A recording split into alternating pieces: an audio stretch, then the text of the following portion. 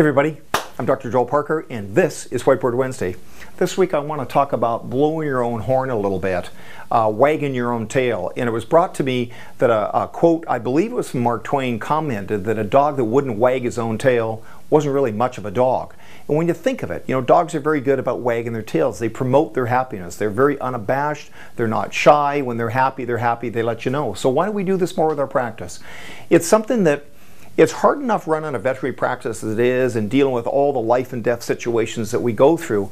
But when we get something that goes really well, I think it's important that we actually broadcast it out there. Send out a press release. Wag your own tail. It's okay to do that, okay? And clients like to hear from you.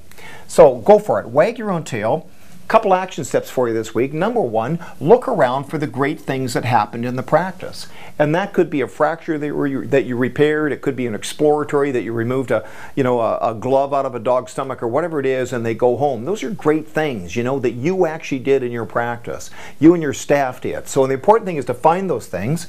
Then sit down and write a quick little press release okay, which, you know, you can go and search the web on how to do that. There's some basic fundamental elements you need to go into it to make sure it gets picked up.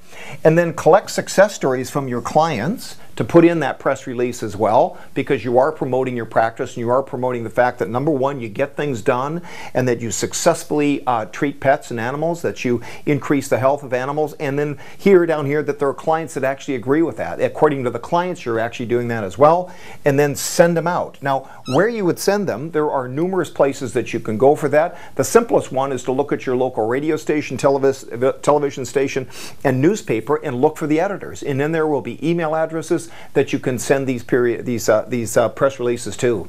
I would probably look at trying to put out one a month. There's nothing wrong with that. You may not get picked up right away, but eventually the press like great stories.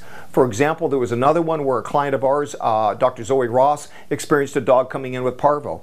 And you and I may think that parvo is kind of, you know, uh, run-of-the-mill stuff, but what she did, she sent out a press release to her clients. She sent out an email saying, hey, if your dogs and cat, your dogs aren't vaccinated, make sure you bring them in. Well, a client then referred that on to a local television uh, television station, and the next day the television truck was parked outside with cameras, and they were interviewing Dr. Ross on what was going on with parvo.